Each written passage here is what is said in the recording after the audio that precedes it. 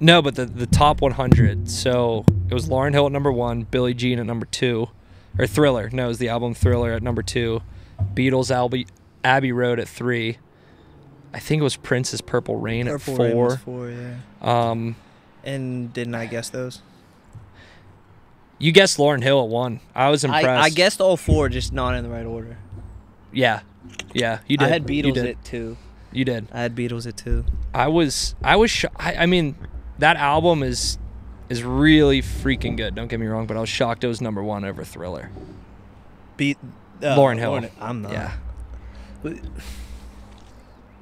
Uh, you have to look at it from the position of all of the different variables they viewed it through. It's fair. So if you look at it, no, I and again, correct me if I'm wrong, but I don't believe there's a single album that won more Grammys. No, I think you're right. And they, and when I say they, she, Yeah, just her. it was her. Mhm. So you look at that and you see how little help was given and how much she accomplished through doing. It, that's the definition of the goat, in my opinion. It's Yeah. it's it's why people are like, "Well, MJ didn't win without Pippen." It's like, oh well, guess what? If you're the only one on the team and you won 12, 12 Grammys, Yeah, so it was twelve or eleven. I th- they were because they they anything did the over ten is just phenomenal. yeah, all on anything one album. five on one album is ridiculous. I just didn't know how good of a guitar player she was either, and Her she was the first. inclination. the first. She was one of the first play or people to do the MTV Unplugged, right? I you, I think she was. I think she was like one of the first, but she was badass. This is she was in- just playing guitar. Norah Jones. How many Grammys did she get? Norah Jones is Do you remember her album, Norah Jones' yeah, album? Norah Jones. Norah Jones had some heat. I don't I mean- remember a single song. I just remember Norah Jones. You just remember like how good she is, or like how good her songs. I just too. remember that one album. Oh, yep. Okay. So she won nine. Norah Jones won 9 Mm-hmm. What was Lauryn Hill? Eleven. Uh, hold on, hold on. She has nine nine Grammys, eighteen nominations. Let's see, what's Lauryn Lauryn Hill? Well, I mean, it's not even fair because she's like one for one. Lauryn Hill. Yeah, the, just she one and done one album. album. Right. It's right. not live. Yeah, It's, the live albums are where it's at too, like live music. But We need to do more live music. we do On the that, body. That one was pretty fun. when We did a live music podcast, and it was Mark, Mark- Ferrari. you. You might have remembered Mark. He was a Bethel Park teacher. Plays not plays well. music now. phys ed teacher, right? Yeah, gym Oh, teacher. Yeah, no, I He wasn't was Nah. that. killer. I'm an like- old man. Bro. Yeah. like, could you uh, play us a song real quick? and just out of nowhere, sang a song at what, like 11 a.m. No warm up. yeah, just ripped it. Sounded It was amazing. pretty. Yeah, he was. That's He was a really good. He was a really good guitar player. Yeah, Like his guitar playing was was He legit. gotta be It was Yeah. legit. I was like, should I like try something? But I'm like, yeah, not after that. Guy that does that. That's just be stupid. you still play the guitar? Comparison is a thief, Drunk Alex. guitar. Drunk yeah. guitarist. Yeah. Oh, you're the guy at the campfire every time. Oh, I, guess just so. learned a new song. All right, bro. we don't need to hear that today. Every now and then, you can't do it too often. You just got to be like Just break selective it out for about special it. occasions. You don't want to be the guy that's always like, "Here's Wonderwall, like let me play it." Yeah. Finding reasons to to play is. Um, I'm gonna crack this beer though. Episode what? 39. 39. All right, I'll go first. You got to rate the crack. That was a nice. That was a good one with That one was- hand. I'll give that an eight. Oh, I hear a train. Oh, I Oh, got that- a two. Oh, you, You lost it. You, lost yeah, it. You lost oh, it. Oh, no. Dang, that was good. I'll give that an eight point three. Uh, Yeah, good recovery. that. Good recovery. That's right. was I think his was closer to the mic. That was really why we got it. The Yeah. I always I always put it like Cheers, right I got some tea, Cheers. boys. Cheers. Hey, Cheers. To Stonies, man. Can't Cheers do it to- without Cheers the to sponsor. Stonies. Yes, sir. Another nature pod for you too. Out back, The back deck. sunset. Oh, this is, the vibes are immaculate. Oh yeah. You got the shade. I'm gonna get a nice tan on one side. right side of the face. I feel like the outside podcasts always just just way more chill. Way more chill. They look. They just have like a different vibe to them. I think. I think everybody's more relaxed, honestly, than doing it in like a studio setting. Yeah, this one beats the studio when we did it. The what was that episode three? We had It was like our, Jared one of our very first episodes, Really? probably about two years ago. Is that long? Holy Two cow. years. Had to be right. At you were- least. I was. I was still in school. Popo was still there. Popa Yeah. was still there. I remember the coolest part about that was the setup and just how far you guys came from concept to sit down. And now you look back and you're on 39 where it's like, oh shit, we're really doing this. Yeah. It's cool. Right? It's Just- We started with one mic in the middle of the table in some random room at Westminster, and then we were like, "Oh, check out the studio." To this, You know So- the, the key word in that? Started. started. That's my favorite thing when people talk is like, just start. And then we'll sit down 39 episodes later. It's cool. Like, I, I respect that with what you guys did. A lot of people just talk and talk. And, and myself, you know, as I've been talking about the podcast, well, let me rephrase. I did beat you guys to it, but mine was only You did. audio. Yeah. I, I, this was before video. This was before short. What do they call this now? Short form. Short form video, like Yeah. interviews or long form, long form Mhm. videos. Like no one was really doing that. Joe Rogan was the first. This was 2016, so you figure a long time ago. Um, You started the car talks originally. I feel like that was the OG Oh, conception wow. of Jared I s- Zych talks I was the stumbled car upon talks. those one day randomly. I forget where, and I was like, That was good." that You was know- that's a flashback from the past because that was whenever we had the the the printing shop was whenever you did the car talks. hold on, no. Shout out my little bro Anth. Anth couldn't have been more than I had the Lexus. So Right. this was probably 2012. Anth, my little brother Anth, was be in the car with a little camera, and he'd be like, "I'll film you, bro," and I'd take him to the gym, and he'd be asking me questions. And the craziest part is, I'll find that clip and send it to you guys. The stuff that I said in that video, I've heard myself say five years later, ten years later. 12 years later where I'm like, okay, consistency is key. So instead of flip flopping, if you really stand on the things you say, you have a resume that looks to fit that. It's neat. It's just like you guys. Like you start and then you keep stacking and stacking and you look back and you're like, damn, we built something. Yeah. You don't know what it is because you had no real plan of what it could become, but that's why it could grow. You didn't box it. People have an idea and before they start, they have this preconceived notion of what it could be or should be, and it can't be anything else. I get stuck in that situation. You meet somebody new. Oh, this is who they are. It's like, no.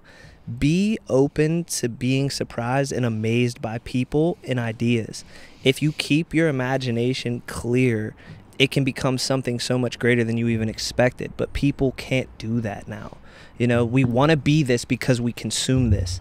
Mhm. You can de- do and be anything. Don't box yourself. Anyway, I'll people people force it. No, people force it. and like that's what our whole thing with this was. Is literally it's like let's have a podcast outside and talk about anything and everything because as soon as you start to force stuff, it doesn't come off genuine, and it's at the end of the day, it's not who we are either. You know, that's a lot who the the initial car talks were too. Like what what was the what was the initial spark? Was it literally just like interview? It was you and Anth like just BSing, or was it you had a certain thing that you wanted to talk about? No, to be honest, I was at a stage in my life. I was, I dropped out of school, and a lot of people that I was cool with, went to school with, maybe wasn't cool. with, Just people my age were close to where. You, well, actually, you guys are further. I was. It was like 23. You know, you're coming out of college. You're making a little bit of money. And I was just in this mindset like I'm just scratching the surface. And a lot of these people were acting as though they made it you know, like oh, I bought my three series. And look, no slight to them. My goals were just different. But a lot of times it's what we said. I, I thought that a lot of people around me were settling and they were 23, 24, 25. And, you know, backstory of myself, myself, like two years later, I left a seven year relationship because I was just like, oh, I'm settling. And it, no slight, beautiful girl, beautiful relationship, awesome. I couldn't be who I was, but if you become a better person when you let something go you knew it was wrong and that's where i was like okay it was the, the hardest decision i made at the time ever in my life but it was one of those things you step away. So i had to stand on my own shit. And a lot of times like you guys go on my instagram page i say stuff. And i say that stuff because i need to stand on what i say. I need to back up what I say, or else I'm another critic with no credentials. And look, if you go and look at the last 15 years of my work, if you look at 15 years of my life, I get to a certain point and I get bored. I really get bored because the challenge is over.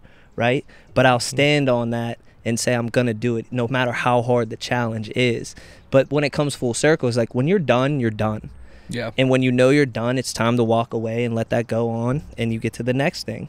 I don't Does know. it does it get any easier? Like you you brought up like the first time is like you got to step away to improve upon it, but does it get easier to do it like the more that more that it happens in life? The hardest thing to do is stepping away from the external love to give it back to yourself.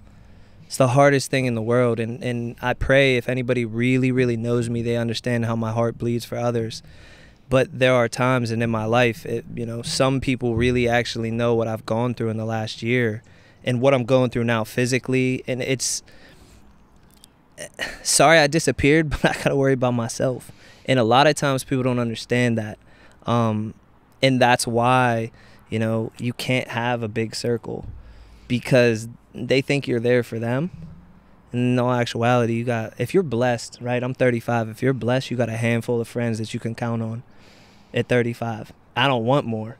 I really don't. I got a lot of acquaintances. I got a lot of people I do love, but I only got a few people I want to invite to this table and break bread with. You feel me? Yeah. How do you decide who you who you listen to in certain scenarios? Would I trade seats with you right now? Period. Mm. Period. Would I sit in your chair? That's it. Outside of, and it has nothing to do with money, but and and I'm not gonna put names out there, but there's one man in my life that I met in college, and he's been the pinnacle of who I wanted to be as a man. Not his money, nothing, but how he carries himself, right? Who he is to others, who he is to his family. That's what I look at. I don't look at what you have because I can get that too. But I can't get your heart, I can't get your thought process, and I can't get the way you treat people. So I have to watch that. And I have to see what you do. How many sacrifices do you make for others through yourself, etc. That's what I look at trust me, there's a lot of people where I'm like, yeah, I like your car, but I don't like you.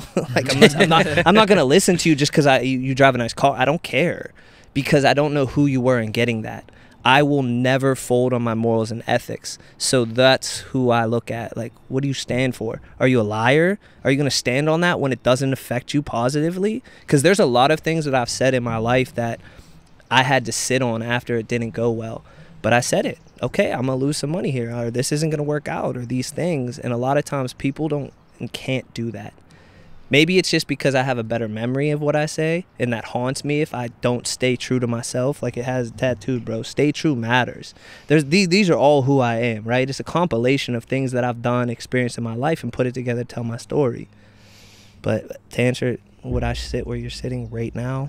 That's how. If I if I respect you, yeah but there's a lot you're gonna grow up and you're gonna realize like oh wow like you're successful but you are not respectable Yeah. Yeah, I mean, I'm already realizing it now. Just there's a lot of you get a, a at some point you'll just start getting a lot of advice thrown at you, and it's like it's tough to filter through it and decide on oh man, this guy was knew what he was talking about. You kind of just have to trust your gut, and that's a great way to look at it. Where you said, "Would I would I trade spaces with you?" yeah You It's know, the an easy way to look at it. Mm-hmm. it's so direct and and listen don't judge the advice judge the intention of the advice and i think that's where a lot of people get convoluted in it they look at the person they either get overwhelmed by what they presume they are or have and then they take the information but again we never started the same way like i'm never going to tell you do xyz and this will work out for you I'll give you my honest opinion, but I'll say I truly don't know because I'm not you. I don't know how you react. Anybody that says do this and this will work, unless it's 1000% an objective scenario, they're lying to you. And that's how I judge character. Are you going to lie to me to try to assert your dominance over me like you know more? Well, you clearly don't know more because you're acting as though this is a fact and this isn't. This is subjective. You have no idea. You don't know God. He can't talk to you. You can't control the situation. So it's more so here are the parameters of advice. Do what you want. If it doesn't work out, call me and we'll figure this out together. That's the advice I give. That's the advice I'd like to receive. Not Josh, do this or you're a failure. That's how so many people do it too. It's like that's that's what gets the gets the clicks is everybody wants that reassured 100% foolproof plan and it's it's not the case. Is life like that? No, yeah, Literally. and everybody everybody wants the the the full 100 steps of how to do this, how to start this, and Okay, I'm gonna give you the best analogy in life, right? From friends to family to clients to players to anybody in my life that I, I care about and want to see do well. I use this analogy. You're the bowler, I'm the bumpers on the side of the alley. You don't need me, but I'm there to protect you from the fucking gutter. And after a while, you figure out your lane and then I don't need to be there anymore and you're a success. But I can't claim that. I'm not there to, to help you figure out your alley. I'm just there to keep you out of the gutter. So you're not always going to need me, but when you do, I'm going to always be there. And hopefully, if I do a good job, you don't need me anymore. A lot of times, people assert themselves in low key, in my perspective, keep people where they need them to still feel like it's benefiting them. right, Hmm. and they now have that as like a transactional thing. I feel like too, and it's like, hey, like I'm here for you, like I'm helping you out, like you're doing well now, like Hey, let me let me it's- let, let me me get hand it like let me hold a dollar. yeah. Oh, okay, bro. No, that's I mean like I, that's great. Like even th- I think just off of that saying alone, or the metaphor that you're kind of using with the bumper analogy and bowling, I feel like that is the way parenting kind of should be in in a line with you know how you want your kid to grow up. Is like I'm i want here as my a kid parent. to grow up happy and healthy. Yeah, That's it. Yeah, and you're you're there and you're there for support, but it's also like Future he's kid. finding the Future kid. Maybe, huh? we we're we're dropping uh, big news on the potty tonight. I got twins. Man, that would be something. Um, so I mean, back to like the advice. Do you think there's too many people on social Oh. media that are giving advice? And like, how do you? I mean, I know we said you know, would you sit in that person's shoes? But like, uh, it's- There's, a lot so of many people. smoke and mirrors Yeah. on so the th- whenever I scroll through social media these days, I'm gonna be honest with you. I look at pages and I think you can be anything you want to lie about, and this is what you chose. And and literally, if you go onto social media, I can guarantee less than 3% of people on all social media are truly transparent to who they are. It's a resume. It's an actively changing resume for whatever you're trying to use it for. Very few people use it to truly share, right? And when I say that, right, those those made up thought stats, right? There's no validity to them. That's just my perspective.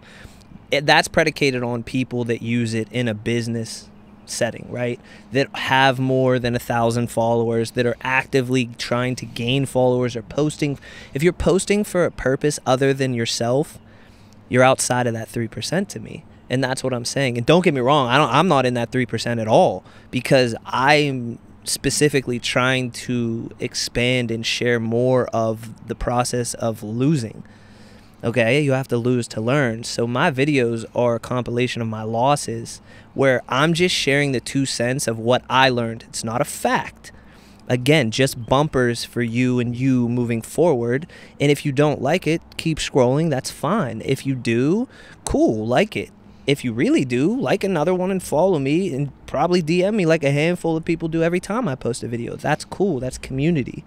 But I do think there are a lot of people out there that like I started with, it's smoke and mirrors. Like, oh man, that's crazy. I seen four dudes post the same license plated car. Like, what are we doing? Why you Same both private Why jet. you both have the same Rolex with a scratch on it? Like, this is weird. Like, and it's just why are we? What's the incentive of this? Like, I don't know if you guys just saw this in China. They're banning flexing. Like, Really? you're not allowed to stunt your finances on social media anymore because there's absolutely no need. Because again, like you said, Nothing makes me more upset when I'm on Instagram and I'm scrolling and some clowns on there like, you can make four hundred and forty thousand dollars in passive income if you. Really, bro? Do you know how much money four hundred and forty thousand dollars in one month is passively? Do you understand how much money you have to have earned in a real setting to earn that kind of passive income? But there are people that are uneducated. There are people that want to take shortcuts. There are people that you can consistently capitalize on, not make four hundred thousand dollars from it or four forty or whatever the BS on that specific ad is, but they're probably making well over ten thousand dollars a month lying to people, getting them to buy into this multi-level marketing or doing the same thing as all three of us. Like put it this way imagine me selling a thousand roadmaps but only the person that gets to the destination first wins you don't know how many roadmaps i sold yet you could be you could have two and be on the road or you could have 999 are you still going to buy that roadmap No way. you see what I, Yeah, you understand what yeah. people don't All look at it that way and this is the thing this is a separating thing when i go onto social media i'm looking at it that way like okay if this this video has a million views and it's to get rich quick like a million people beat me to this. No matter how good i am i'm not gonna beat one in a million right Yeah, and nobody nobody's gonna catch up to those numbers. Like it's a million people can't all get rich it's quick. like with the national debt bro it's just gonna keep compounding and we're just gonna keep fucking losing that's it I, I mean that's it do you think America puts a stop on it like ever, like China would do, or What, people would The, lose their uh, mind? The national debt. no, no, no, not the national debt, bro. like that would be wild. could. That would be a wild. That would be another. That's a podcast talk for another day, I guess. But I like the the TikTok, like regulating it or like vi- videos. I feel like they can't do it. Like Here's a hot China could take. do it. Shouldn't we regulate a blabbering idiot representing us before we worry about what we're consuming? Fair because enough, if we fair are enough. allowing this, if and listen, I don't have political bias, but I, I I'm a grown up man. If somebody is falling down the stairs and you're not helping them and you're not laughing at them slurring their words representing our country to the world, like I'm sorry, man, you're just as bad. You're as complicit. So I- think there's a lot of other things we need to worry about because at the end of the day, what what we consume, what what the youth consumes should be predicated on the parents. What the parents basically consume should be predicated on the morals and ethics that they learned from their parents. The problem is is now we're looking at the government to tell us what we need to be doing. No, that starts at home. That starts with your friends, that starts with your families. That starts with your religious views. But instead now it's people kind of put a lot of things to the side and look at Big Brother and like, what do we do next? What, what where, where's my check coming from? Like Yeah. what's going to happen next? You're going to print more money, right? It's like, "Oh, wait, like you're responsible for your day to day. It's not the country's job, right? And if mm-hmm. I think a lot of times people externalize things instead of looking internally. Like when I'm alone, I'm like, damn, what did I do? When other people are alone, they're like, damn, why does no one love me? Instead of actually questioning themselves, like, yo, if you're alone, there's a reason. If people don't want to invite you places, there's a reason. it's always someone else's fault. Yeah. a big thing you hit on too a couple minutes ago was shortcut. I want to come back to shortcut because I think the trend these days, well, not the trend, but the problem in a lot of society today is everybody wants a shortcut to success. I don't blame them. A shortcut to having the big house, a shortcut to being able to travel, to the nice car. Do you blame them? No. You not see at what I all, mean? But it's a problem though. It,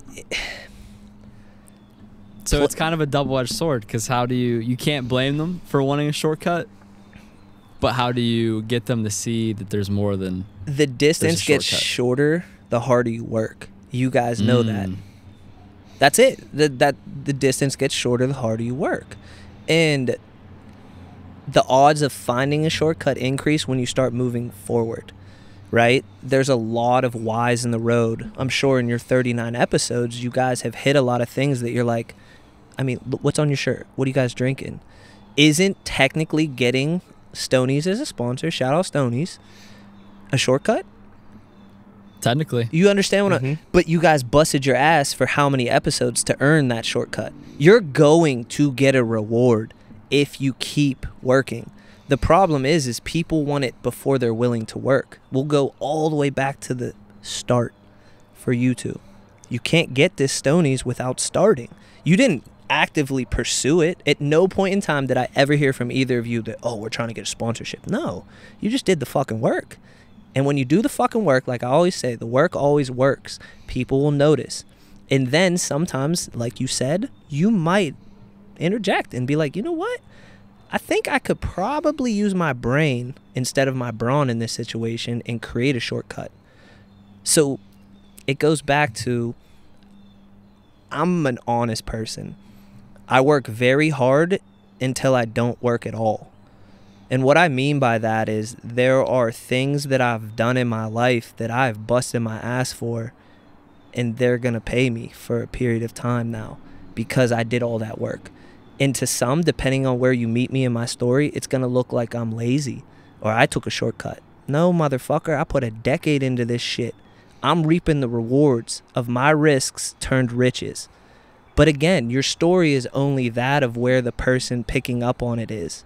That's why I don't judge anymore. I was a judgmental motherfucker early on because I felt that. I was a projection of what I was a mirror of what I felt. I was always being judged for my decisions. I was always being judged for dropping out of school, doing this, modeling, selling a business, starting like being different.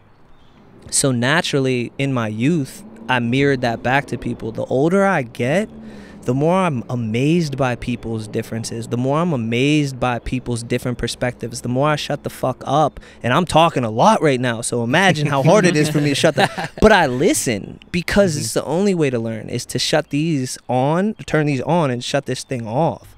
It's take the shortcuts when they're there, but don't beg for them.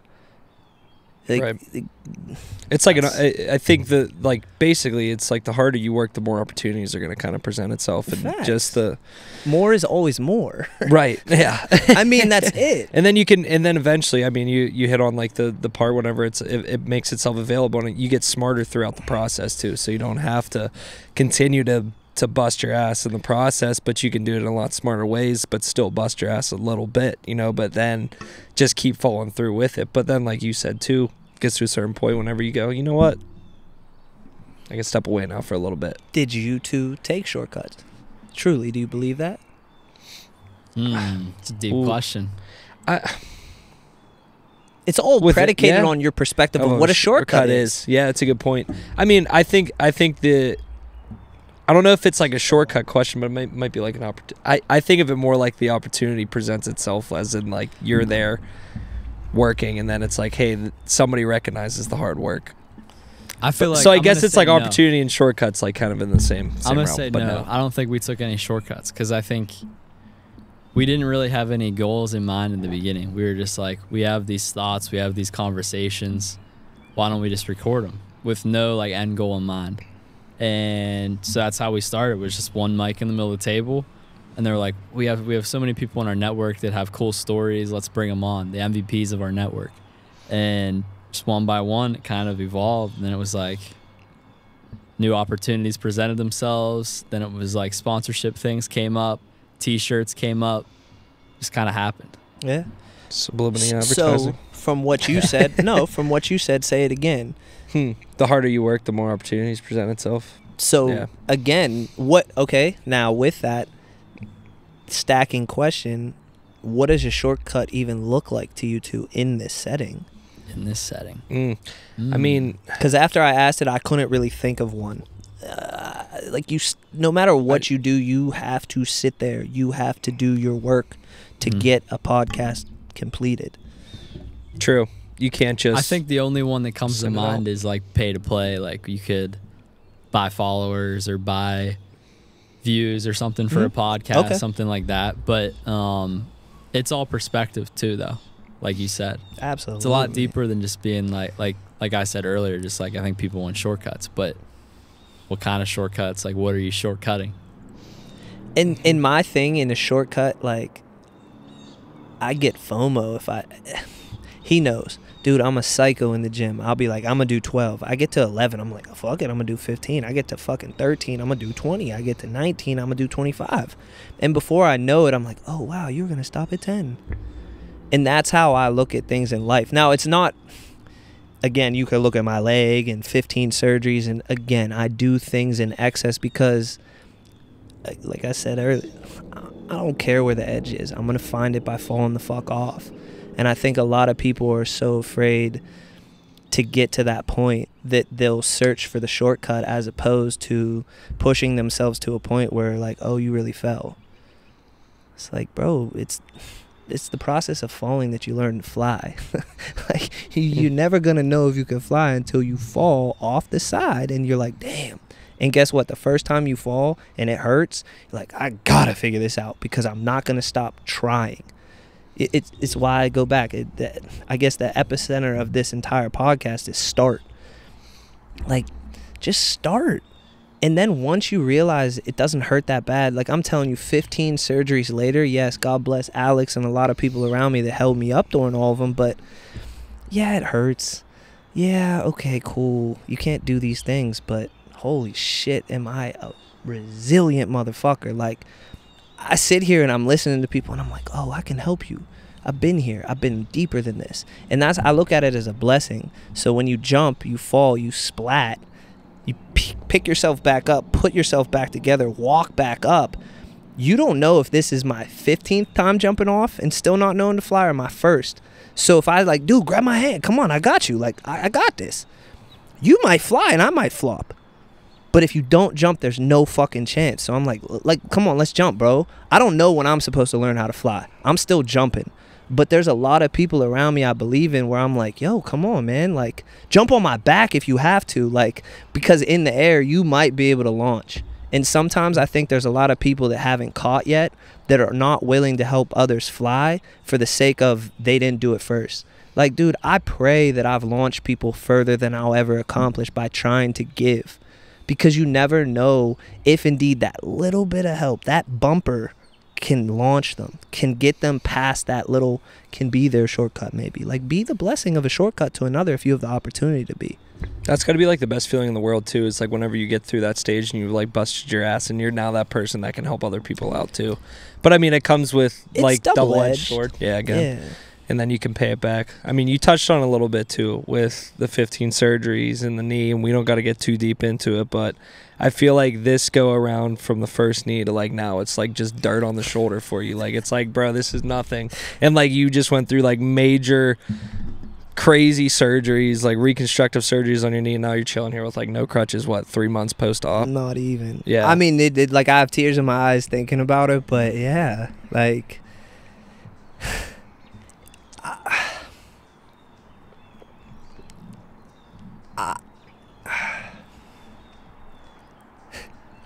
You get to a point where you don't even worry about what's next, cause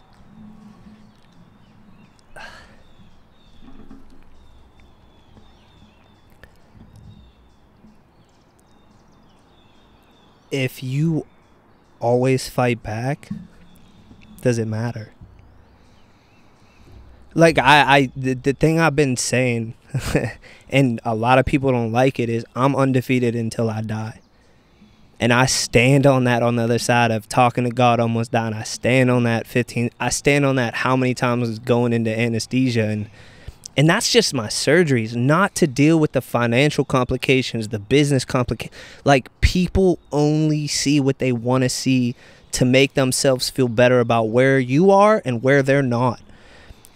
On the other side, the only thing I can tell people is get the fuck back up. Mm-hmm. It's a life story of Jared Zych. Is like no matter how many times it's, I'm coming back and it's round number X. Like I'm I'm ready to go. if I don't quit, I I I can't fail. And a lot of times I've used the word failure in the past and it's just like dog, you have to lose to learn. And the hardest part in life is to let go of the loss to fucking learn. We hold on to things like we hold on to people, we hold on to losses so long that you lose the message in them and then you become the loss. How many people have you met in your life that said, Woe is me? I'll just use myself an example. I go to therapy a few times a week, and there's people that are like myself I'm amazed by because I'm nothing compared to what they went through.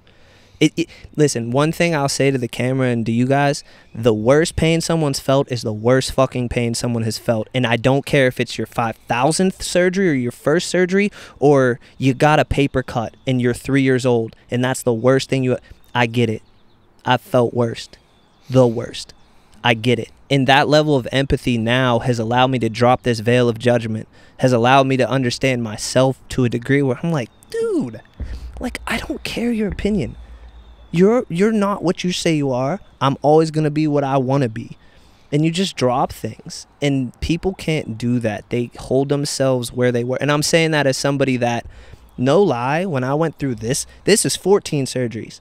I'm like, man, dude, whoa. Then God's like, hey, I got something for you. Here's another one. Now what? Mm. Now what are you gonna do? And I'm like, oh shit. I don't know, bro. I don't know. Like I don't know what I'm gonna do, but I know I'm gonna wake the fuck up and figure it out every day. You allow me to wake up right now in the morning. You know my dog Camp. The man. My dog will jump up on the bed, put his head right here, right here, lift it, and I'm like, "You ready to pray?" And he'll put his head on my chest, and I'll say a prayer every morning. I'm like, "God, just thank you for waking me up this morning, because now the rest is on me."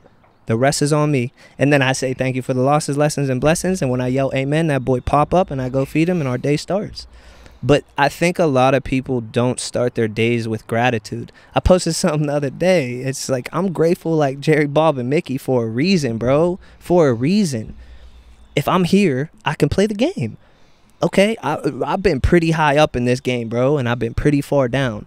But let me tell you, when you're at the top of the mountain, there's just more mountains. And when at your bottom, you really are at the bottom. And sometimes you're blessed to have people around you. Sometimes you're not. I've hit the bottom and had nobody. I've hit the bottom and had people help me up where forever you're in my heart. I got I don't care what I go through. You're in my heart. That got deep. Sorry, bro. No, we needed it, dude. I mean, That's what we're here for. That's that's exactly what we're here for. I mean, it's the truth of just like who you are as a person. I th- I think like what everything that you've went through has kind of just made you more appreciative of it, which is like crazy because so many other people would have just turned the other way and be like, "What the fuck, man?" Like, and have taken it a complete other way. But it, I think in turn made you more grateful and like appreciative for everything else that's like around you.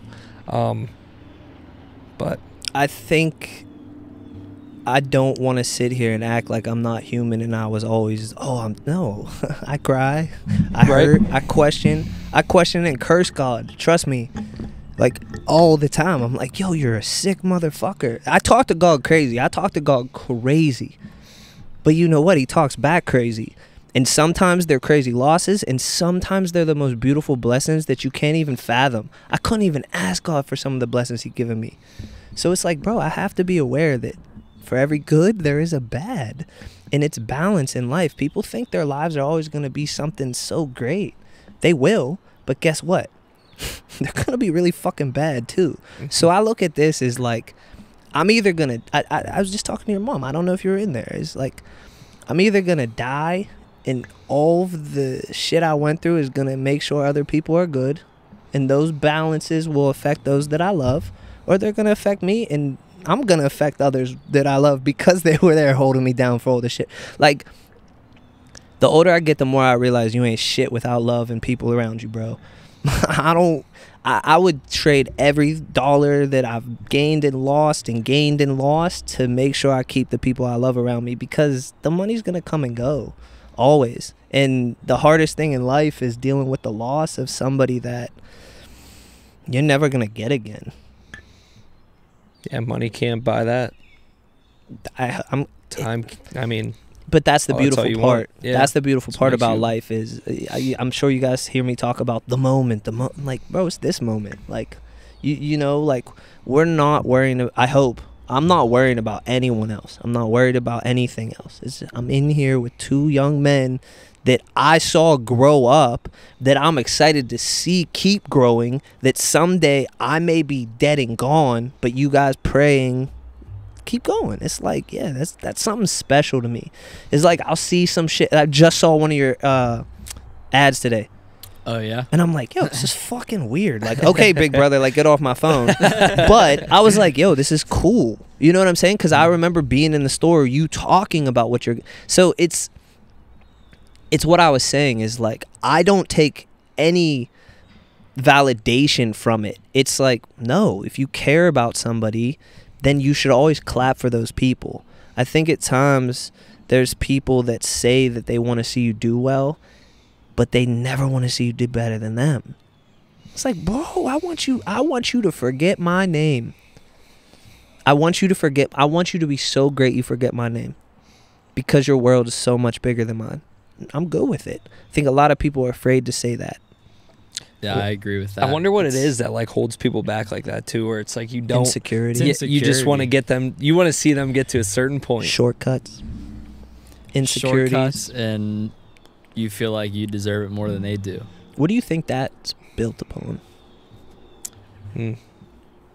Get What's that? beat. Shortcuts? No. Just Why people insecurity. think that because at the end of the day, it's easy for me to clap for somebody that I know worked harder than me. Mhm.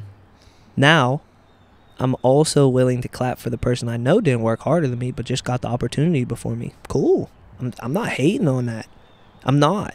A I- younger me would. That one's harder, I think, for people to swallow. It's is it's if, youthful. if it's the opportunity that presents itself before you have that opportunity, but you also have to realize that that opportunity might come around. Here's the But thing. then You people get salty in the moment. And they're like, "Oh no, what the hell? That could that should have been me." I think it gets amplified too by like social media and being connected right now. I, Yeah. I mean, it's always existed, but I think now you're so in touch, you're so in tap with everybody Yeah. else that you just always know whenever oh Well, we just got this Multiplies new it.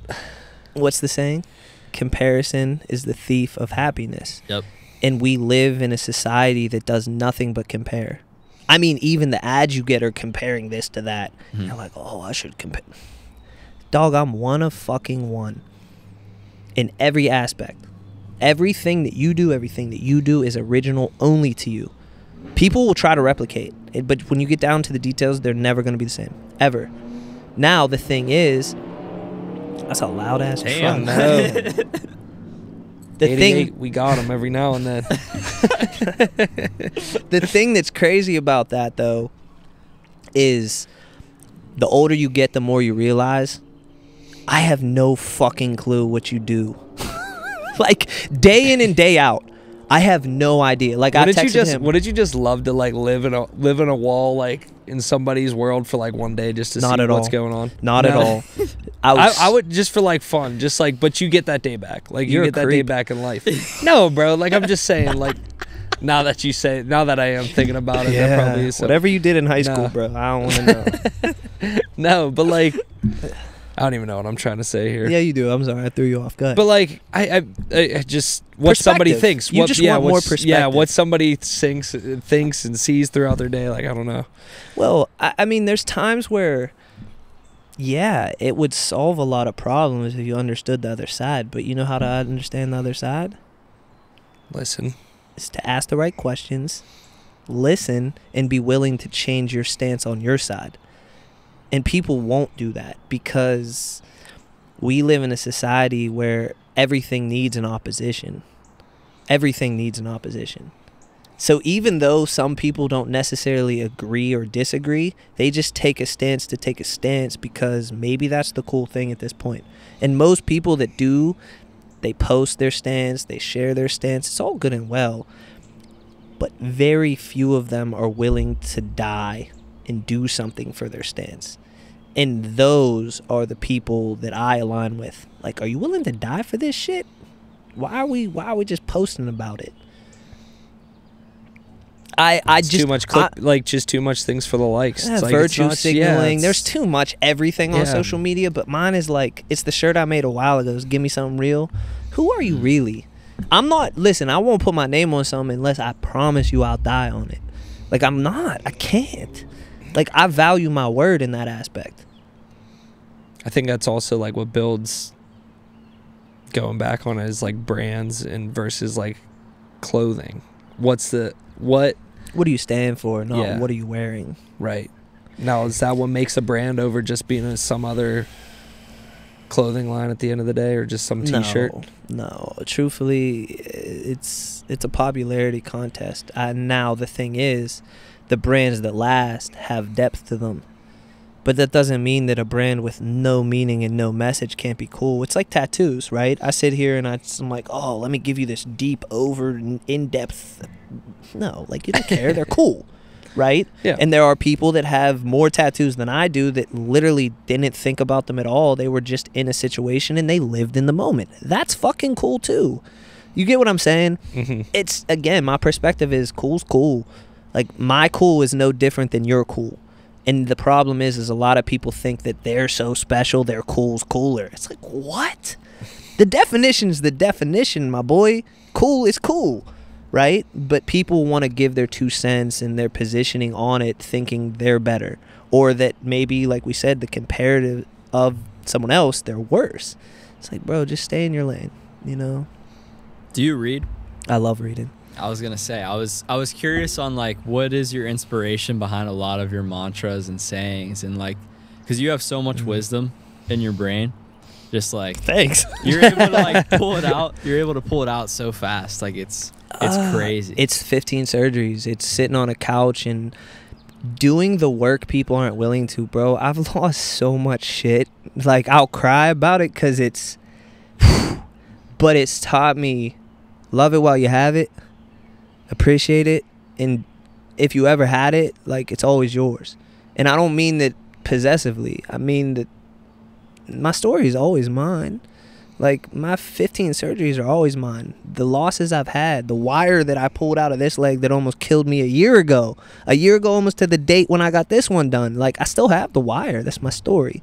When it comes to wisdom, it's what I take in and challenge it. When I read a book, people think I'm crazy for this. So I read a book, and the first time I read a book, I have my notes, and it's in opposition of the author. Then I read the book again and I go in opposition of my notes, trying to tell myself where I'm wrong. Then I read the book for fucking fun, right? And the last book that I read, God bless my cut. My cousin is arguably one of the most intellectually deep per- people I've ever met. You've met Jonathan. Yep. Um, he has probably a 150 plus IQ. Just in genius. He taught me how to play chess when I was like four. Right. I'll show you the picture. Long story short, he's always seen who I was as a, as a child. Right. He went through some tough times early on, like I did, and throughout life, and he was always a big brother for that. And when I go through hard times, there's always a book waiting for me. Um, I went through some stuff. I think it was this surgery. I don't remember. The Alchemist. He got me.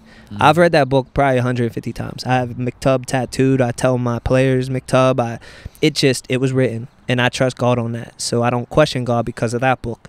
The most recent book is called Awareness by Anthony DeMello, and in that book, oh man, I recommend that to anybody that's willing to. It's an easy read. I think this is my sixth time reading it now since my surgery, but it's thought provoking. And I'll butcher this, but I believe that he was he was in high up in a specific religion, and later on in his life, he started to question it more. And that's what I am. I, I don't take anything for what it is, because unless it's coming from a source that I'm wow, I you know I respect. I trade places with you. I'm like uh, I don't know, man. I'm gonna vet this, and if it's solid, then you let me vet this. So when people don't, I'm like, oh, you you don't really believe this stuff. So I, I stay away from it. But in that book, a lot of the lessons, my favorite thing from that book, that I forget which chapter, even what it was referencing to, but he said, explain the what the color green is to a blind person. And and now take this take this a step back. If you never tell a child what kind of bird they're looking at, then they always see the beauty of what is. But the moment you label a bird as something, that's what it is to that child, and you've taken away their ability to create something in their mind. What's your favorite book that became a movie? Hmm. Probably the Hunger Games. Whenever I was a kid, Okay, and you read it before you saw the movie. I did. What about you? I would say I read like some of the Percy Jackson Jackson books Yeah. before they became movies. Those were hard. Yeah, they were- that was a good Those books were good. Okay, now here's my question. Whenever you saw the movie and it was casted, do you ever read that book or, you know, reference that book with your original perception of what the characters were to you or is it what they were casted in the movie? It's always the movie. It's, It's the uh, movie, mine's yeah. Harry Potter. Like there it, Mhm. it they've taken away what Harry Potter is when I read it. Like when Harry Potter came out, I was still growing up where my mind was like, "Oh my god, Hogwarts this and and J.K. Rowling's did such a nice job giving you this visual through words where I'm like then I saw the movie and I'm like, "Damn, it's ruined. Yeah. This was less than what I thought it was." And I was just disappointed. And that's what it is is once you give something context, it takes away the purity of it. So in my youth, I always wanted to label things and tell people, "No, I don't fucking know, bro. Have you ever watched a movie and then went back and read the book? Mm, I can't pinpoint it. I know. That's what I was There's a lot of movies, so. yes, because I didn't know the movie was built upon a book. Mm, You know what I mean? right. But then I probably didn't read the book though. I know. I, I like can't think of anyone. Off the top Um, what's uh, Jack Reacher? head. Oh, they made a book about that. You mean they made a movie? Movie about the book. Yeah, jeez. yeah, yeah, yeah. There you go. I think I've got Alchemist in my Amazon card actually right now. The Just wait. Alchemist. I'm reading uh, 48 Laws of Power right now. If you read I have one. my feelings about that book, but it's I a won't a little share 'em. bit. Uh, it's, it's dark I'm not done yet, so I'm not gonna say anything. But it is a little bit Is it like dark magic? interesting. Uh, here's my perception on that book. It's it's based. Um, I'll let you talk. Actually, I think that the 48 Laws of Power is a great playbook to defend yourself against stupid people that think they're smart because they read. And what I mean by that is if you read the book, you realize that it's the author means well, maybe, but a lot of it is just if you're smarter, you can manipulate a person. That's literally the premise. I got through that book and I was like, holy shit, did I just waste this time oh, doing this? My bad. like i just i i don't know but again there's people out there that are like that's my bible and it's like no slight to you bro you're probably laughing at me that i read the alchemist 150 times so again to each their own i just i think it's dangerous to consume literature in a small level if you're not willing to consume all literature that can give you a different perspective against that and then formulate your own perspective. That's again why I write when I read and go against what I read because I know I'm wrong. But I also know if I'm wrong, whoever wrote this fucking book is too. So there's real messages in it, but I need to pull them out the way I need them, not the way you want to deliver them because you don't know me. If I knew the author, it would be different. If the author knew me and was delivering that message to me, it would be different. But baseline things, and I understand that they can't do that, but man, there's a lot of stuff out there that you don't know who it's going to land on and what they're going to do with it. yeah, yeah. You should read it. I'll check it out. I mean, dude, that's like the crazy story too. I mean, you think about like reading and what was like the one book with the guy that like killed John Lennon, and he it was because he was reading that one book, The Catcher in the Rye. Oh, The Catcher in the Rye. I, don't see. I'm not cultured I mean, that what- way. Yeah, what he no. was saying too, though, about having whoops, having uh, perspective in like just what you're reading. So if you read just like one or two books and then base your whole life off of that, it's a very dangerous game, and that can be applied outside of books too. If you just consume like Fox one or two, or yeah, CNN one or whatever you want. of news or entertainment or anything, and then you just base your whole life off of that, it's very dangerous. but that's a lot of people do that, I- dude, and it's If you base your life off of what you see on Instagram, What do you think those are though? Shortcuts. They're fucking Yeah. shortcuts, dude. Is listen, again, and I can only see the world through my eyes, but like we started and like you asked, if I want to trade places with you, I don't care what you're saying. So the era we are in in all media, including social media, dude, think about when Facebook or Instagram fact checks something. Excuse me? Like who the fuck are like uh, you understand like I can't even conceptualize a thought to verbalize because it's just such an asinine perspective on their end to say like we are the fact checkers. You need an independent Oh, it's an independent source that we pay. Like we what? picked, yeah. like Jesus, dude, how dumb are you know what I'm saying? But Mhm. there are people that are like, oh, it says it's a fact. I just went through something that was like based on the facts. I said, what are the facts? Yeah. you understand that your facts are collected by liars, presented to other liars that need these things to be facts for them to get what they want. But again, we live in a society that a, a, a brazen opinion consumed by many becomes a fact. And you can look at it on in both sides of politics, in anything. It's we are consuming the regurgitation of I don't even know the source. How many steps are between the source and us? It's the telephone game. And modern media as a whole is the telephone game where unless you're on the front lines, I'm sorry. And even then, whoever's it, it's like, can you do a, a one of one? It's the Lauryn Hill. Can you do it to a point where no one else can interfere with it? Because the moment someone can, they have a narrative, they have an opinion, they have a perspective, and they're oh, out actively recruiting people for that. Think about it. You know, when you're in a group Yeah. of people and you don't like one of them, no matter what, it takes you a lot, like consciously, to be like, "Ah, don't say that. And then you're still saying it. You're like, fuck, man. Oh, man. you know, but in those moments, it's real. Like, Yeah. you know, people are always actively recruiting. Alex, who was the last person you called, and what did you talk about? Oh, the last person I called, and what did I talk about? It's probably my boy Tom today. Whenever I was working, he was driving into Tom Howe. Tom Howell, yeah. Shout, Shout out, to Tom, Tom. Howell. he, he'll call me because he's the assistant AD for Bethel, and like, we'll just call because I mean, majority of my job I'm just on the road, so we just like bullshit. Yeah. I don't, I don't, we're probably just talking shit on each other. Truthfully, it's probably like not good at all. Bringing up Do you probably think what it? we were talking about. do you like to just kill time when you're in the car talking to people? Yeah, yeah. I'll talk to people. I and uh, I I think I don't know. It's weird. I whenever we got back from like the training, it was they like asked us, "You- "Do you go home like after you do stuff with like a bunch of people, and do you like continue to talk, or do you just go up to your room and like go to bed?" And I think for me, it was like I continue to talk because like I think social scenario, yeah, social scenarios kind of energizes me. I don't know. Is it the same for you guys? I love voice memos.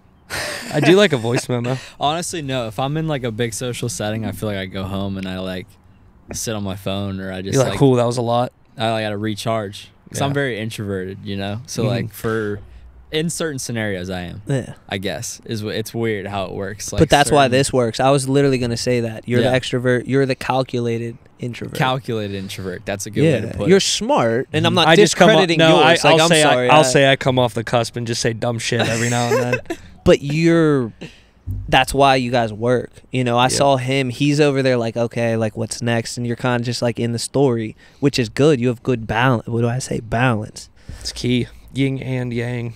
it's Yin a very yang. important thing man yin and yang speaking of speaking of which, I saw some crazy ass thing the other day too. It was like of Genghis Khan, how he like eliminated like ten percent of the world's population.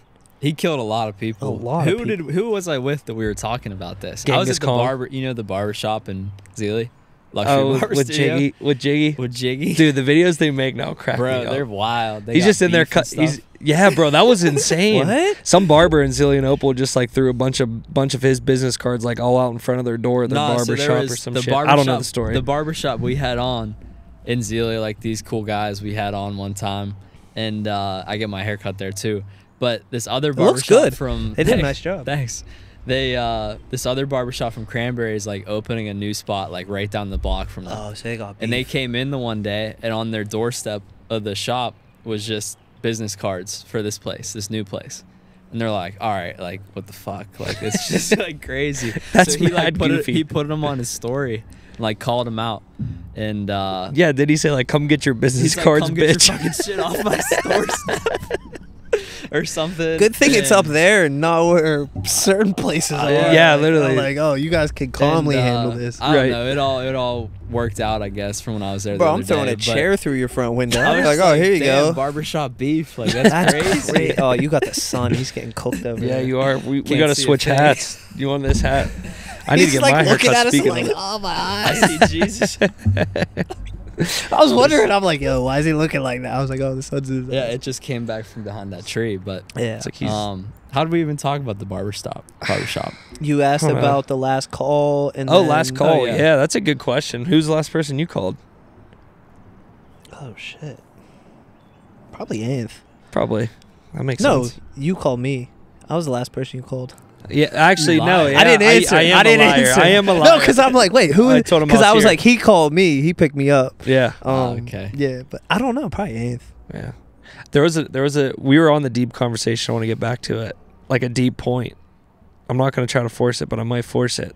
And it had me That's a nice thinking. jet, Sorry. It is cool. That's the cool part about being outside. It's like you hear like a plane going over. the top You hear the birds Oh, wow. chirp, chirping and everything. It does or give you try an down there. ambiance that you don't get. Like in the studio, it's like four walls and my boys. Uptight. Like, Every- yeah. Everybody's crammed in here. Yeah, One moment you could relive in your life if you could pinpoint. L dart's not one that I could think of. You're not to be a honest. not a fan of it. No, I like it. I just Alright. don't know where it came from, so I know I Mm. didn't make it. You know what's crazy is I really don't even. You I'm trying to remember where that- Mall Man came from. To be honest with oh, you, man. Oh, that's and, and all them. They'd be like, "Mom, man, dude." So my little brother and him. So look, I met this dude because of my little brother. He was probably like eight years old. Okay. playing And- mini hoops. Yeah, I don't even remember. Was somewhere. mini. Yeah, we were playing mini hoops and and like, of course, I liked I liked hoopers. So I don't know. So now, anyway, fast forward, they grow up. Like my little bro gets grown, same age. And now, whenever they like, cause they want to see each other for a while, so he'd come over. I'd call him and be like, "Hey, can I get my car detailed?" He'd pull up with the truck, and my little brother walk out. He'd be like, "Mom, man!" and these two for like five minutes are just going off at And each then, other. and then I go, Tony! then, yeah, then I go back to him like Tony. I don't, I don't even know when and why it started, but it, it started some some you, point you in time. went to school. Yeah, And when he when when you guys were at school, whenever would see him, I would do it. I'd be like, "Mom, man!" Like it would just make me happy. I'm like, okay, like something to it when you don't see somebody for a while. I think you just say are it. just awesome though. Like if you got a good nickname for somebody, like Yeah. it just so who much more fun who to has say. the wildest nickname you've ever heard? I don't even. want I'm not gonna hmm. say, Say it. Like No, I'm yeah, that's fair. That's fair. That's It's fair. one of Good those like, question. and a lot of you know the best nicknames are the ones that like individuals don't really remember why they're called that, and it's not good, but they go by their nickname and not their real name. It's crazy. Yeah. How many people do you think you know that go by their by a nickname and like a surname and not their real name? uh, during high school, college, I feel like most people, Yeah. honestly, at least guys, like The Yeah, ones in college were the dumbest ones mine ever, was bro. simple. It was just Vion. Like people call me my last Last name, name, first. yeah. But like during high school and like early elementary, it was like Neon Vion. That's kind of cool. But- That is kind of cool. Kind of you need to get a neon, a Vion, and put it in your office now. There we go. That'll be fire. Oh. Yeah, you got Mikey Two Clips. That's a his good is- nickname. His, his might be That's one of the most cool. Do you know where That- that stems from? Did he he, said the talk skate- to it? yeah, You he got- he the was on here. Yeah, actually, he said he? the skateboarding. I think he because he was talking about. skateboarding or Break it down because I love Mikey so much. I Well- don't remember. Yeah, no, he was talking about how he was like doing a YouTube or he was just recording at a skate park or something. I might be butchering the story, but um, how he was there and he was just like recording like just small little clips, and then like his one boy was like, "Yo, like trying to get like these two clips of me or something like that," and then it was like Mikey two clips. He was Mikey like, "That's the Clips. YouTube name," and it was just all skating fire. clips. Oh, I had another one actually. When I worked at Treesdale, like Joey Porter Senior would call me Doogie. because Doogie I looked Howser. Like Doogie Howser. I can't unsee wait, it, bro. wait, wait, Dude, wait. swear him and some of his boys. That's Wait, the pretty- club. I don't know who that Maybe is. like- That's Doogie, come that's over here. pretty good. That's and that's cool because it's like joking, but it's when you have a nickname, people think it's. I'm like, bro, Holy shit, Josh. Doesn't it? Holy shit, Josh, low dude. key, low key, bro. Yeah, I mean those. That was what they referred to me as. For, JP the whole Senior, time. he got he got some wit to him, man. That's a good one. He's you know what's dude. hilarious is I was in a Wexford CVS and I was like just chilling there getting a like sinus like relief something. Next thing you know, it was Joey Porter or Joey Porter walked in. I was like, I was like, yo, bro. I was like, your son's legit. He was like, oh, thanks, bro. I don't know why I just remembered Dude. JP Junior is a dog. He's just He's a real living deal. life these days. He's cool. Good. He is, He I can love be that. scary sometimes still, but Really? bro. He's still Yeah. big. He's still big as He's hell. still I didn't realize how tall he was. He's like six. He's like at least six three, six four. yeah. I'm like, damn. Like I'm just a small person. I feel like I'm glad we have his son. That's all I'm gonna say. yeah. Duke can ball. Duke can ball. Speaking of sports, If you didn't play basketball, what sport would you play? Ooh, golf. Me too. Here's the thing, right? Do you I'm think t- young Jay Z would have wanted to play golf though? I always hear that analogy, and like I always think back to myself, and I'm like, man, I, I always said like screw golf. This is too slow for me. so? kid. Yeah. I honestly like I did martial arts for 15 years. Like I was very competitive. I kickbox for 8 it, I did that because I was a nut and my dad was like, "Yo, you're going to get your ass beat." I ended up beating ass, right? And loving it, but I learned discipline and that gave me well, at the time my athleticism. I think that as a kid pre 8 9 maybe before we start to take in what we like we're directed so you know i didn't really get into basketball until i was probably eight. Like I'll go to my Grams and McKeesport. I'll go up Crawford, play pickup. I loved it. I loved the culture. I, I felt like accepted for the first time in my life. I felt accepted from a game. So I just fell in love with the game, and then I fell in love with the culture of the game, and I fell in love with the people that I played with, and I was just it was a big family. With golf, yeah, you're probably right. Like we didn't have shit growing up, so my dad didn't play nothing. I didn't have a set of golf clubs until I was a grown man, and that the girl that I told you, she got me my first set, and I got addicted. I'm still not like you, bro, but like I love it. When I have a game's legit. Bro. well, I haven't Josh- had a full yeah. summer, and I don't know how long to play. you know, No, you could rope a drive. Like I, I think if you just got to give it. eh, That's the thing with golf, though. man. Consistency. consistency, time, and but I love Shots. it. Like it's Oh, it's I love it me now. versus me all day. Like Mhm. it, it- I think that's why I say that. But if we're talking about money and all the others, soccer. I'm playing soccer Mm. because you're still. I don't think soccer players get enough credit for how athletic they are, for how incredible of athletes they are from a stamina position. And we don't, you know, there was the argument basketball or football. And I'm like, yeah, but it, how many people could play soccer? Like, I, even when you watch Ocho Cinco, great player, don't get me wrong, but you watch him against pros and you're like, whoa, uh, Yeah. this gap's big. You know, or like, did you see Pat? Ma- What is that league The there? Pat McAfee. I don't even know the details. Pat McAfee had this cross cool. kick. I was like, yo, that's a dime. And the dude did a flutter kick and score. I said, oh, this is kind of cool. Yeah. So it's neat to see. I think that's one benefit of social media is the boom of take consuming other sports. Yeah. I mean, golf. You go on. I mean, I don't know what your feed's like, but I would say one out of three posts is golf for me now. I got a lot of golf. Yeah. I actually have a lot of golf now too. It's Well, like it pinpoints basically COVID, like what it's you kind of started like. to grow a little bit with like people, like probably some of it's social media. Also, some of it COVID was like it was like a safe thing to do or whatever. yeah, but yeah, it's the ability to. I don't know. I mean, it's like who's talking? yeah. I was that like, how did Lauren? we hear that? Yeah, Lauren's in there screaming. I love that.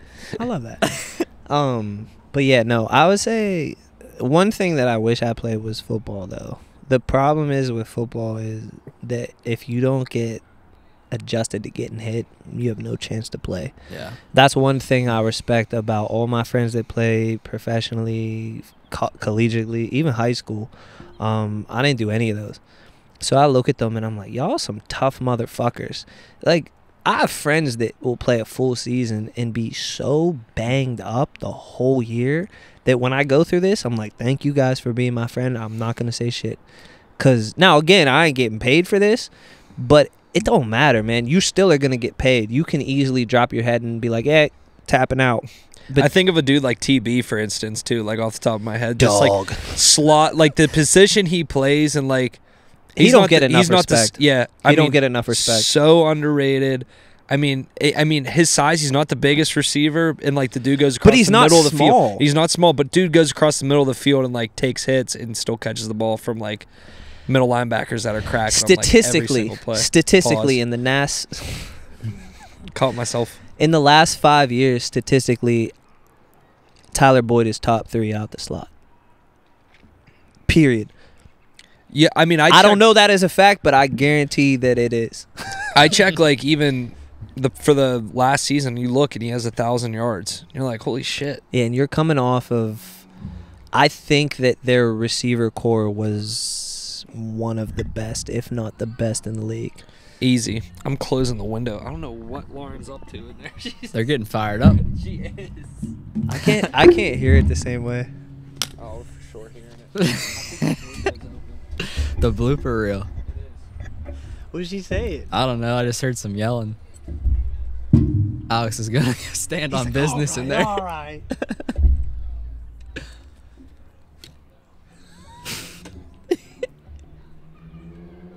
I love Alex so much. Uh, he's a good dude.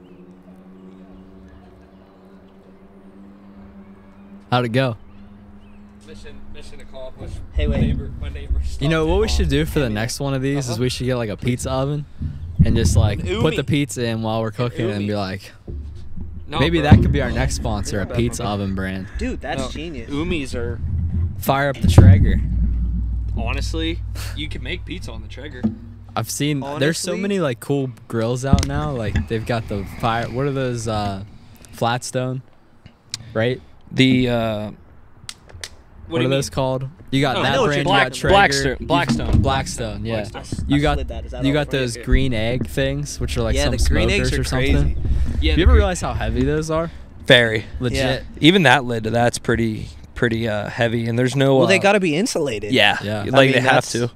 That's the crazy part with those things. They're good, man. They're they're legit. But I had charcoal burgers this weekend. Oh yeah. I don't know, bro. There's nothing that compares to a charcoal burger. Ah, you gotta make sure that there's not too much charcoal when you taste kerosene, like from the lighter fluid. Yeah, you gotta let it burn off. You gotta let it burn off. Yeah, burn it off. You gotta, let, you gotta let it burn. Burn- burn gotta it let off, it burn. Let it let it ash up a little bit. But those charcoal burgers are the best. oh yeah. I don't.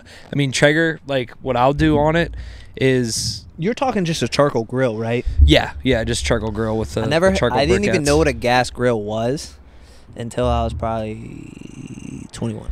DZ Damn. wasn't DZ wasn't cooking on no Dude, gas come grill. on, Charcoal D- was I where grew up DZ and. UD are bro. Listen, you guys want to hear a story? So DZ's Jared's dad, by the way. yeah, DZ's Yeah. my dad, UD's my uncle. They're brothers. Two peas in the fucking pod from the port, baby. Coolest dude you'll ever meet. But they'll give you shit. Anyway, they are grill masters. So every family, whatever, they're grilling. To this day, my uncle, he'll text me. He's like, "You like brisket?" I'm like, "Yeah, what's up?" He's like, "Oh, I got a pound for you." Like, dude, every time he'll be like, "You like ham?" I was like, ah, "I don't eat a lot of swine." He was like, "All right, I'll just give this to AB, my my brother." So they'll cook and cook and cook. Long story short, they never ever used gas. So I didn't know. Well, we didn't exactly have the finances for that. You know, like you go to a nice house, they got just turn it on. I'm like, wow, that's it, dude. We had when I say it, it was like a craftsman. I mean, like the little circle one. the circle one, circle, like the the literally like this is it.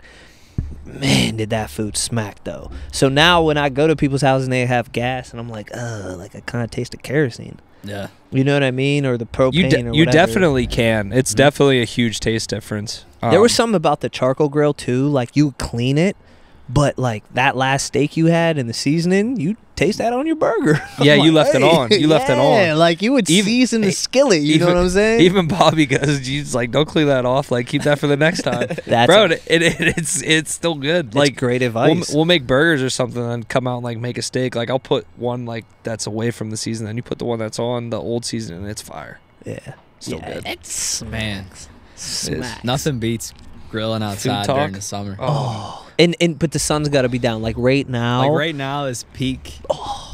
we'll get like- it going for next time. Oh, we'll like man. cue we'll cue it up. We'll get a. So we should try a pizza. I, I wanted need- to try one. I would need- be cool. I'm gonna I'm gonna get your guys' opinion on this because I'm gonna drop my idea on my podcast for like three years. So I, I it's marked. All right. for three years from now.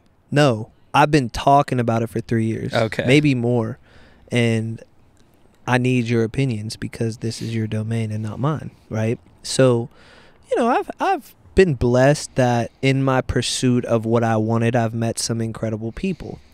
In that, much like you guys have asked me, and I've been blessed to share with you, there's another side of the story that people don't see, and we've been talking about social media, etc.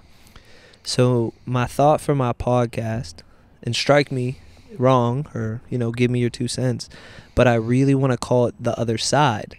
And i want to have individuals on it that have a perspective of society but that perspective is predicated on all that society knows and not the other side of their life. What were they before they were who they are to to who they are? Does that make sense? Yeah. No, so I think we can a, get into that like what made you this way? Mm. What's the real mm-hmm. story? Like, cause if if I didn't post things, dude, I'm a nobody on social media. Would I have like a couple thousand followers or something? Cool, but imagine if I had some of the followers that some of the people that I know have. If you have a million followers, two hundred thousand, dude, fifteen thousand, right? People are gonna see what they want to see, but I think it's very important that people understand the other side of the story what did they go through? Why are they this way? Why are they where they are? Taken away.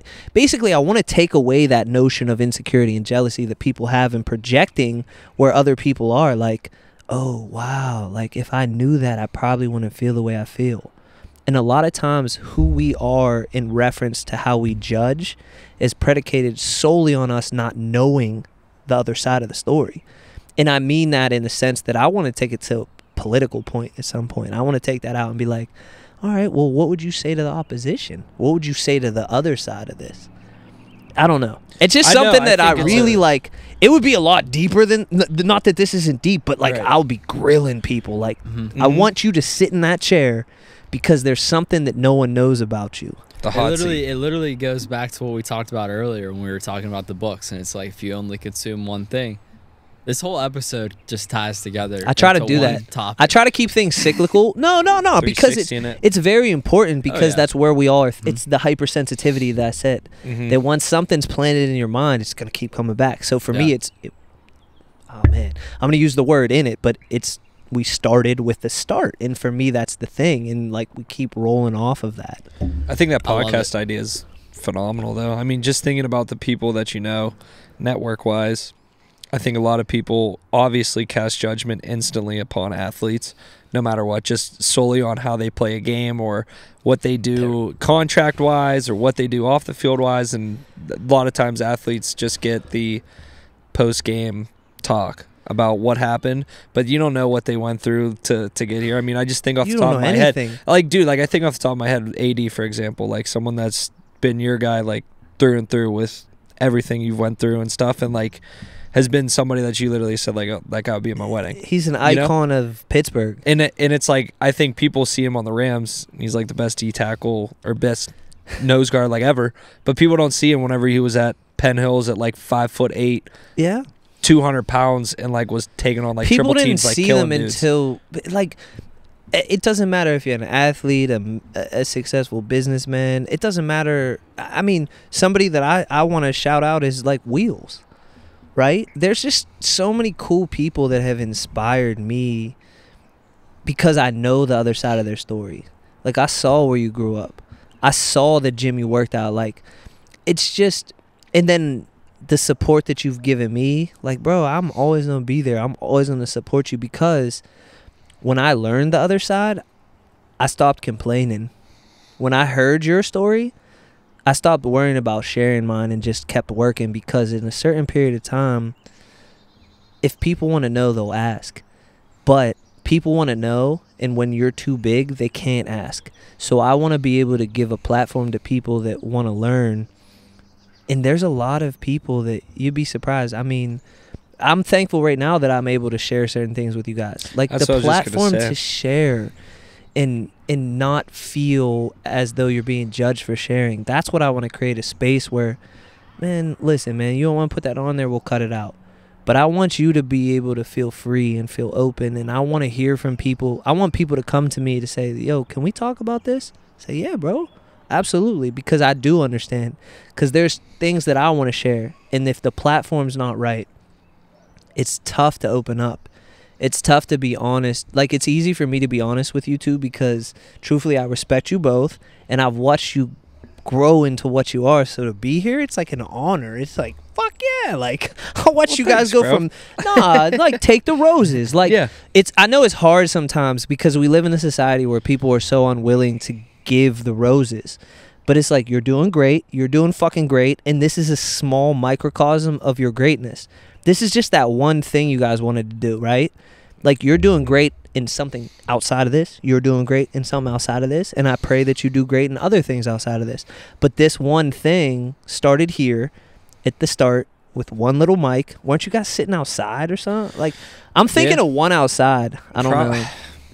I don't know. I'm trying to think of the ones in the beginning. The beginning was at Westminster. Yeah, at of the table, Westminster. and I then- just remember you Yeah. guys sitting did- like yeah. aside of fire or something yeah, in the that was backyard. what B. Too, yeah, that was what B. Okay, all right. Yeah. Because I, dude, we got to rip another fire one though. I'm not People- gonna lie. After like that. episode six, I, I didn't keep up. Yeah. I, I will never lie. Hey, to you that's all about good. that. I'm no just- worries. Hey, we get it. I'm just, we get it. I'm just being honest. There's a lot to consume, man. well, 30, 38 episodes is a lot, Yeah, It's a start. and I lost my subscriptions. You know what I'm saying? So Don't blame me. They could be too much. they could be too much to at keep up three on. ninety nine a month was You keep- waxing. Well, you keep. I I keep seeing like all these things too. It's like you're paying all these subscription costs. Do you guys get those ads? Yeah, I get something like Well, that. Yeah. It's you hard really to keep do. track of it. though. Yeah, and like it is. that's like such a good business model though for businesses because like I mean that's literally the Planet Fitness business model Uh huh. is get people signed up for 99 cents at the beginning of the year. They go for a little bit, then they stop, and then they just keep paying because they just don't pay attention, and they make it tough for you to quit because you have to go in person to quit. Yep. Well, what's crazy too Mm. is if you ever go go to a Planet Fitness and just be like, I have a super strange question. How many people belong to this gym? Mm-hmm. In like the one we go to, listen, it was a food land. It was not large, but the numbers are there's tens of thousands of people that pay Yeah. nine ninety nine a month or more there. Wow. So I didn't you know it was that many. I mean, it makes sense though. Just the, the location about of where the- it's at. Exactly, because people will join specific. So, like with Planet Fitness, their thing is when they open a new gym, that becomes your gym. Mm-hmm. And correct me if I'm wrong, but don't you have to cancel with the gym you signed up with? I think so, yeah. So if you like move somewhere, you're still like your home gym is still like at back home. there. It's it's They make it as hard it's as possible. ten dollars a month. Like That's the thing. They're like ten dollars a month. Most people will be like, "Oh, I didn't go this month. I'll just let it slide or whatever." And then next thing you know, a year goes by, and they got a thousand other people that are doing that the exact same at thing. just that location. And then they got five locations in the city, and then fifty statewide, thousands throughout the whole. I mean, it adds up quick. Yep. So whenever like like Crunch Fitness is opening up in Pleasant Hills, Mhm. Uh, they're not paying me. But anyway, Give us that you- membership, when- baby. We need the dude, I really want to join there because it's like a nice version of what LA Fitness used to be. LA Fitness, fuck off. You're falling off. You don't take care of anything. Like They don't. dude they've had the same equipment in the gym that i used to go to for 12 13 years And I feel like it's never clean in there either. It's never like you go into the locker room Dude, and I feel like you're gonna get like a fungal a infection, bro. dude hepatitis anything dude. The way those old guys walk around in there you're like brother i'm so sorry. You gotta look at it. I don't want to. No, it's it's terrible. Like I, oh man, Dude, plan. I was at Planet for a while, and then mine just started like cutting back the hours all of a sudden. I was Yep. like, "You're supposed to be 24 hours. Like that's what you're advertising." Yeah. But it was like every time I come at like 7:30 on a weeknight, it's closed. I'm And- like, oh that's "Fuck." crazy It was weird. yeah. That's so I gave him a few weeks, and it just never got better. I'm so I went to Snap. Snap's Yeah. better. is that 24 7 with a, a key card Snap Fitness. yeah Yeah, 24 seven with That's- the key card. Yeah. yeah, and it's nice. like all the Snap Fitnesses too. So it's like Oh. any of them. Speaking of gyms and working out, the Planet Fitness gym culture might be the worst thing or the best on the Depends planet. Here's on how you look perspective. at There it. is, dude. It, it it just like cracks me up, man. but Just do you the- go in there with the perspective of a great workout or a entertaining workout Oh, that's a good point. Some days it's some days it's like, all right, I'm gonna get in here and get it done. And then other days it's like, all right, I'm gonna take everything in today and I'm gonna laugh. Like mean- today, I'm gonna laugh. You see some wild stuff in there. yeah. Oh, any bro. any commonplace of an activity that challenges a person is gonna be comical. Like, it's all Josh. If me and me and Alex and my brother golfed with you, you're I hopefully gonna laugh at us in a in a friendly way. Like, oh, because you're a vet in comparison. So when we go to the gym, right? Like, did you play? Did you golf at Westminster? A little bit, yeah. Right, like athlete, athlete, athlete. So no matter what sport you play, they're going to put you in the gym. So you have somewhat of an understanding of what to do, how to do it, and why you're doing it.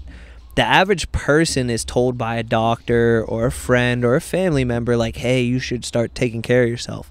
So they go in with no real direction. It's easy to laugh, right? But after I laugh, I'm like, fuck, I'm gonna help this dude. Cause like, Mm. you're here. You're doing something. A lot like it's the start thing, right? Right. We're gonna go back to that. But a lot of times people can't do that. So I never that's How do you approach someone in the gym? I was just gonna. I, that's off the top of my head. Like if to help them. this is this is gonna come off like shallow, but with guys, they can kind of like, bro. If I if I'm in the gym and I'm kind of a little pumped, it's like, yo, it's your approach. It's not what you say; it's how you say it. But if you pass the look test and say they're not in the same shape as you, they listen a little bit, or you know, like, bro, you go in the gym and you start throwing some weights around, they watch how you train, there's a level of like, oh, he kind of knows what he's doing. So if I watch somebody, I'm like, hey, you know, and bro, I have all those silly, silly CES, PES, CPT. Like I did all that. I train people. I love it. So it's not as though, you know, I'm a, I'm a critic with no credentials. I have the credentials, but in addition, you're doing the hardest part. You're showing up. The least I can do as somebody who comes here every day, works out once or twice a day, is to say, hey, bro, like if you need help, like I got you. If you need a spot, come see me. Hey, if you keep doing that, like you might hurt yourself or you might do something that takes you out of here. And that's a disservice to your effort to get here. So who am I to not at least try? If you don't want it, that's fine. If you say fuck, okay, fuck me then. Like I'm Mhm. but I'm still listen, this is this stands on record, right? It's always oh well, it's never what if. And what I mean by that is I'd rather you say fuck off than me regret not trying. Right? It Mhm. so in the gym like I'm gonna just hey, look, look, I'm not trying to I'm not trying to you know, but you have to do it subtly. You can't be like, "Oh, bro, you're doing that." Like, no, Right. like, you can't be that guy. That's weird. Yeah. No, I mean That's that's, funny. where Planet Fitness does have it right with like their approach of trying to just get people in the gym and Yeah. like make it as easy as Yeah. possible to introduce. But then they them need to, to they need to like cultivate the next step. Yeah, they They got to bridge the gap a little bit, other than just get you in the like- door. They need like somebody on the floor like They don't help out. people. They don't help out whenever they get you in for the ten dollar membership. Then they got pizza nights on Tuesdays. Well, yeah, you know, oh, like- DZ loves that. Pe- hey, listen, hold on, hold on, hold on. We gotta go back to my pops right now. So, at, at the Planet Fitness by his house, they call him the mayor. he is the mayor, bro. He, he's probably rolling in right now, Is it the plan? Bro, like, we right should- Yeah, right street? bro. Bro, we should call him. We should call him. See what he's doing. No, he ain't. he. I bet he's at Planet He's Fitness, not bro. yet. No I way. bet he's got to. Oh, my Siri's going off. I don't know what the hell. No, we got like, we got probably thirty minutes. It's like at nine o'clock. So my dad, my dad had a tough life. We'll put it that way. This man is about his health, but when I say his health, he wears a a Fitbit or something. So, s- go ahead. You want to tell this story? Go ahead. No, I'm not. it's probably not- no, no, no. funnier from you. No, no, I was just laughing at the Fitbit comment. You said he's about his health. He wears the Fitbit. So, so he'll be like, you know, crushing a beer or something, and he'll be like this with his Fitbit, like trying to get his steps in, right? So the fictitious Yeah. nature of this bullshit of ten thousand steps a day, which, if anybody knows, again, I'm gonna butcher this, but it it it, it has permeated from an old Japanese perspective. If you walk ten thousand steps a day, you're moving, and they just picked a, a a number, right? And that's carried over as like the you should walk ten thousand steps a day. Cool. Well, for him, it's like, oh, this thing. He'll be like this. He'll be he'll be sitting there like this. I'm like, go to the fucking gym or stand the fuck up and walk. He'll be.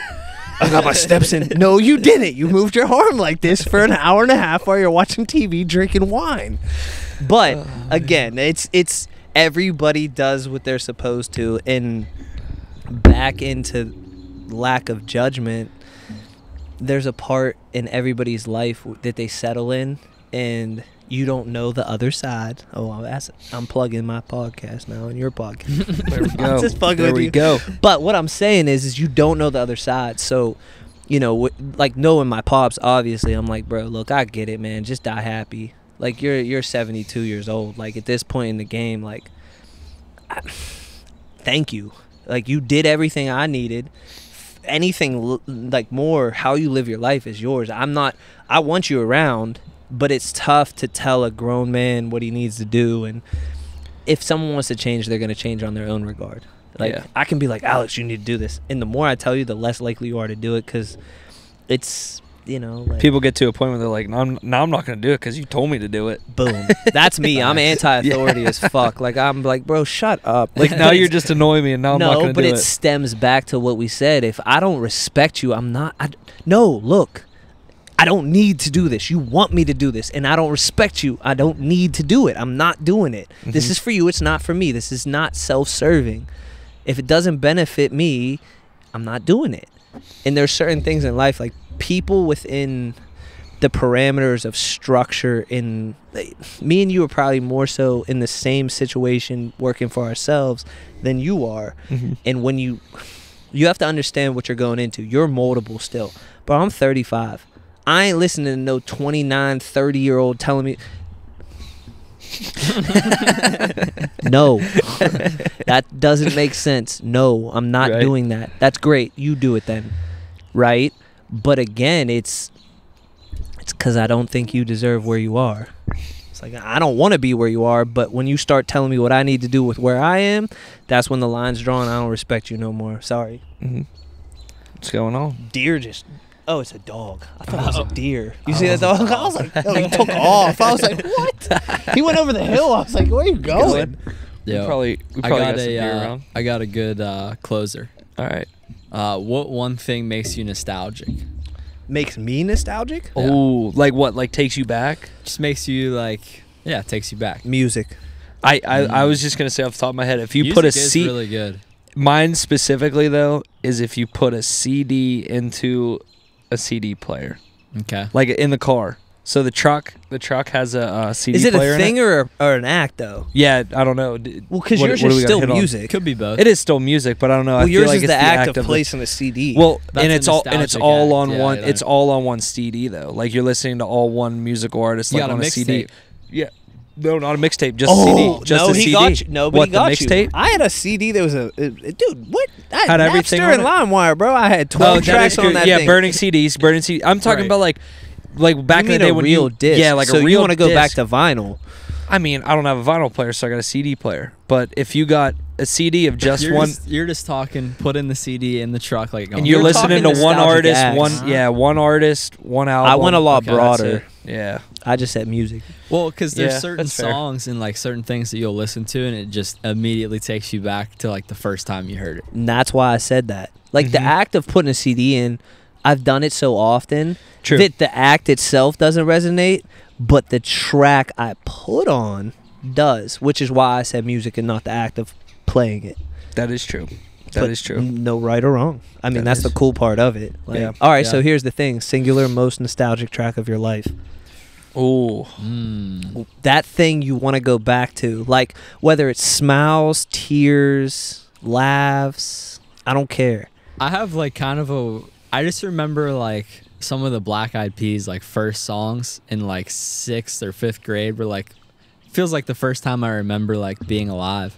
hearing Really? music, You know what I mean? Like, hearing music. I don't know. It's like hard to explain. I It's know like, my um, my perspective of feeling life, so I want to hear this. So it's just like there's like a certain point in life where you're just like, all right, like Going I'm through the here, motions. like I'm here. Yeah. Like I remember, like I'm starting to figure out like Those what were some of your first is. memories of like you feeling moved. Yes. like Okay. consciousness, like you were. So like probably right around the time of when the iPod, iPod Touch started to become Crazy. very relevant. Damn, you just aged the fuck out of me. So it ties into like that period when like Black Eyed Peas, like I think the song Fireflies, like by Owl City was really big. Wiz Khalifa, yeah. like Black and Yellow, Black and Yellow big Wiz. Right then. So hold on, So it just was to like age the me first more. time that kids were like bringing, or my classmates were bringing like iPods and stuff. What on year? The bus That movement school. was Had to crazy. be 2000, s- 2008, maybe for me. But that's the first time I remember like going to the bus stop and like kids had AirPod like earpods in and we're listening to songs Wow. and stuff. Earbuds. And I don't know, something about those songs just like automatically takes me back to that era.